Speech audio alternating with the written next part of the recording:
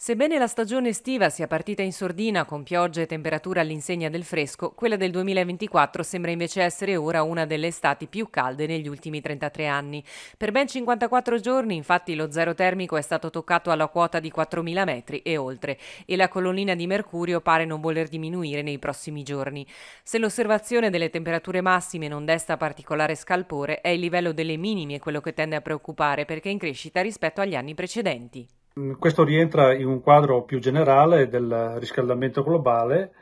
eh, che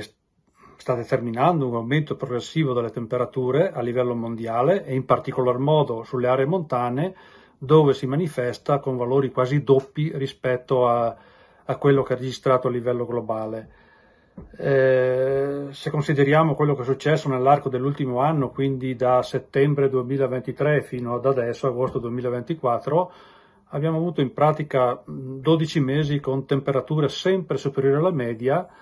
tranne, tranne, il mese di maggio del 2024, che è stato un mese relativamente freddo, però con una temperatura media nella norma, diciamo, e il mese di novembre 2023, anch'esso con temperature nella norma, mentre tutti gli altri mesi hanno avuto temperature da 1 a 3,5 gradi più alte dei valori normali. Quindi eh, tutte le previsioni diciamo, più eh, critiche rispetto al riscaldamento che erano state prospettate dai modelli climatici si stanno verificando e stanno avendo un impatto molto importante sulla montagna. Questo impatto riguarda non solamente eh, i ghiacciai che, che, stanno scomparendo progressivamente con una velocità eh, molto rapida, ma riguarda l'innalzamento del livello del permafrost, quindi del terreno permanentemente gelato, e questo porta a una maggiore propensione alla, uh, al verificarsi di dissesti anche in alta montagna.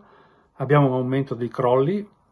abbiamo tutta una serie di fenomeni che eh, cambiano, stanno cambiando rapidamente non solamente il paesaggio alpino, ma anche eh, le condizioni di stabilità dei versanti e di conseguenza eh, anche, avranno delle ricadute nei prossimi anni anche sul nostro modo di affrontare, di andare in montagna.